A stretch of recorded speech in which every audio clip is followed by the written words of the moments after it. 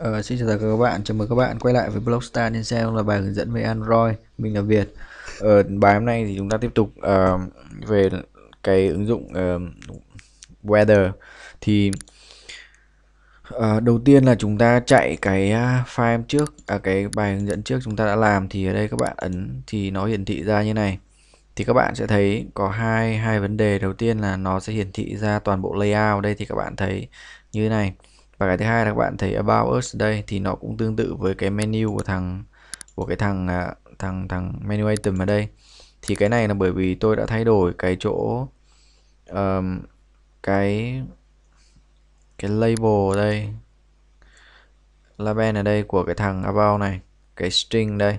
Nhưng trong khi đấy thì cái thằng setting uh, cái thằng setting này thì tôi vẫn giữ nguyên của việc copy của thằng trên. Thì vì thế mà khi các bạn chạy setting up thì các bạn sẽ thấy là nó sẽ có chữ weather ở đây. Thì đây chính là cái cái cái ưu điểm mà chúng ta khi sử dụng với cái ờ, cái file string trong cái thư mục values đây. Tức là chúng ta khai báo một lần và chúng ta dùng nhiều lần. Thì đấy là tác dụng. Ngoài ra thì ở bài này tôi sẽ dẫn các bạn làm thế nào chúng ta tạo một cái dialog nó hiển thị đây cho cái thằng menu about thì ví dụ như khi chúng ta ấn như này thì thay vì nó hiển thị toàn màn hình thì nó chỉ hiện một cục nhỏ nhỏ đây thôi thì chúng ta vào chúng ta vào file manifest và vào cái activity của những cái thằng nào mà chúng ta muốn đó là dialog. Thì các bạn vào cái thẻ activity các bạn gõ android chấm. Thì lúc này các bạn có thể ờ, có một số nhiều cái dưới này. Thì ở đây các bạn chọn cái theme. Come on. Uh, chọn android và tiếp đến là chọn cái gì? Chọn uh, kéo xuống chọn cái style này. Sau khi có style thì nó sẽ gạch chéo và ấn thêm ở đây. Thì các bạn sẽ thấy nó có rất nhiều loại khác nhau ở đây. À, ví dụ theme dialog này rồi theme input method này theme line hoặc là theme no title bar hoặc là no display ví dụ rất nhiều thứ. Thì ở đây mình chỉ muốn uh, giới thiệu cho các bạn nên mình chọn cái đơn giản nhất là cái theme dialog này thì sau khi có cái này thì chúng ta chạy. Chúng ta chạy chương trình.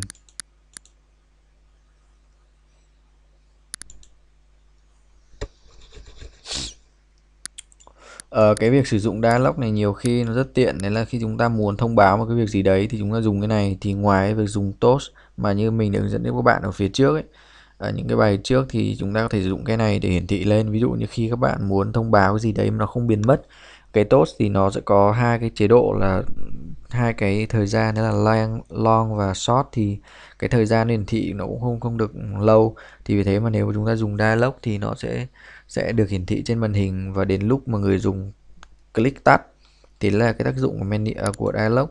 Thì bây giờ chúng ta ấn menu ấn about thì các bạn sẽ thấy đây bây giờ nó không hiện toàn màn hình nữa mà nó chỉ hiện một ô nhỏ nhỏ như này thôi. Và cái background phía sau cái background của cái thằng weather thì chúng ta vẫn thấy nhưng mà dùng nó mờ đi. Thì đây chính tác dụng của thằng dialog. Ví dụ như các bạn khi làm việc với uh, xử lý với cái gì đấy mà các bạn muốn thông báo cho người dùng chẳng hạn thì là các bạn sử dụng cái này nó cũng rất tiện.